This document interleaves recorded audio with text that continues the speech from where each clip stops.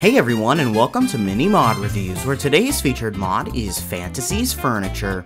Normally for furniture mods, everything added follows the same theme or style, but with Fantasy's Furniture, it's taken to a whole new level.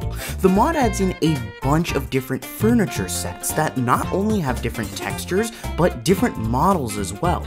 These sets include Nordic, Dunmer, Venthyr, Bone, Wither, Royal, and my personal favorite, the Necro Lord set. Each set also comes with some little miscellaneous decorations too, including things like cookie jars, coin stacks, books, banners, and food.